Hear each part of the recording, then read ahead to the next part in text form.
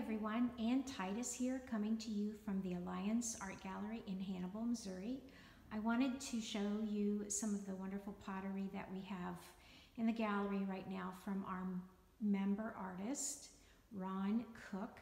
Ron lives in Liberty, Illinois, where he has his kiln, and we're always pretty excited when he brings new stuff in. So I wanted to show you uh, just a few of the pieces that we've got.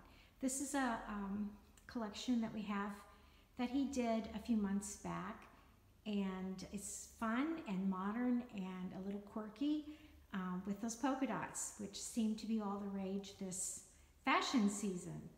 Um, he also just a couple of weeks ago brought in a lot of coffee mugs which are great gifts. Um, we've got purple and uh, some blues and greens and grays couple of different sizes, great for coffee and for soup. Ron Cook from the Alliance Art Gallery in Hannibal, Missouri.